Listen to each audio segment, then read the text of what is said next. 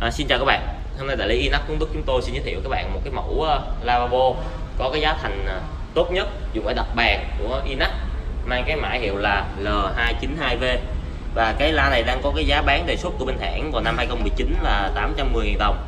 Thì cái giá tương đối là là, là, là tốt và nó phù hợp để uh, đi vào những cái công trình mà chủ tư yêu cầu sử dụng hàng Inac. Thì cái lavabo đặt bàn này thì nó có thêm một cái tính năng hơn nữa là có thể dùng để gắn tường thì nó được thiết kế ở bên sau thì có cái ờ, chỗ để mà chúng ta có thể gắn nó vào tường. Đây, thì có thể các bạn tùy ý các bạn lựa chọn.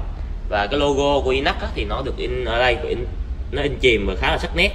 Để ờ, các bạn có thể kiểm tra về cái logo này thì ờ, rất là khó để có thể làm làm làm làm giả giống như vậy.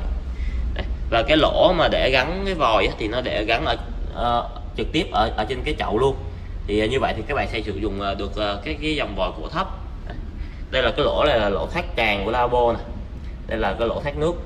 Thì khi mà các bạn mua cái lavabo này á, thì nó sẽ bao gồm phần sứ và nó sẽ chưa bao gồm vòi bộ xả. Thì à, các bạn sẽ phải cần mua thêm vòi bộ xả cho nó phù hợp. Thì à, cái la này á, thì nó có cái kích thước của cái la là chiều rộng á, là 449 à, còn cái chiều sâu á, là 469 tức là khoảng tầm 47 cm các bạn.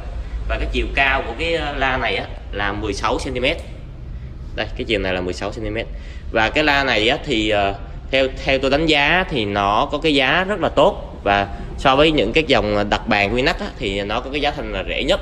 Và theo tôi đánh giá nó cũng rất là đẹp. Thì hiện tại thì cái mẫu này á ừ, đang được uh, trưng bày tại showroom tại lý Tuấn Đức chúng tôi. Nếu mà quý khách có nhu cầu muốn liên hệ đặt hàng á thì có thể liên hệ vào số điện thoại hotline bên dưới. Hoặc là có thể truy cập vào đường link tdm.vn để đặt hàng trực tuyến. Chúng tôi có dẫn một cái đường link sản phẩm ở bên dưới cho các bạn để bạn tham tham khảo thêm chi tiết của sản phẩm. À, cảm ơn các bạn đã theo dõi video này và hẹn gặp lại các bạn ở những video tiếp theo. Xin chào và hẹn gặp lại.